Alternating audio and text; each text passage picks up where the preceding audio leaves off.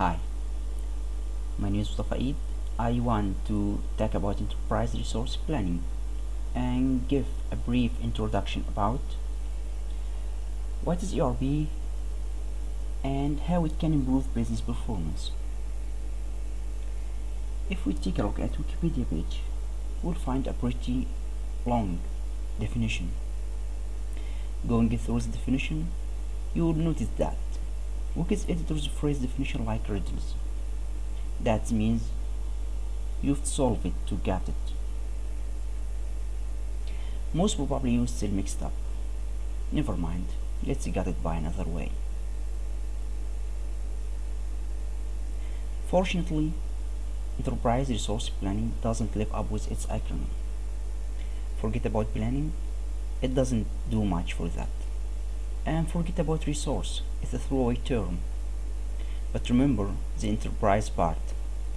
That's ERP's true gist. Enterprise has departments like finance, logistics, production, sales, human resources, and others.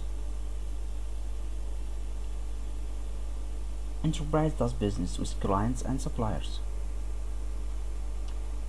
To do business, surely we need tools. Long ago, we were using this, this, this, and this for storage. Accordingly, this was the workflow was looking like. Wonderful.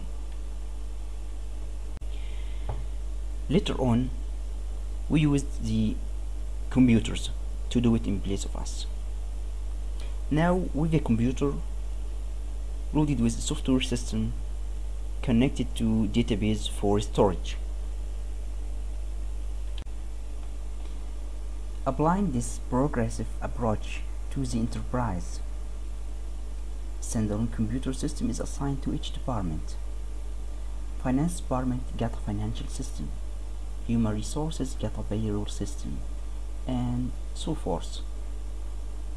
So far, that seems a pretty brilliant solution. But taking a customer order, or known as order fulfillment process, for example, and applying the standalone computer system solution. As we see in this figure, the order begins a mostly paper-based journey from in-basket to in-basket around the company, often keyed and rekeyed many times into different departments' computer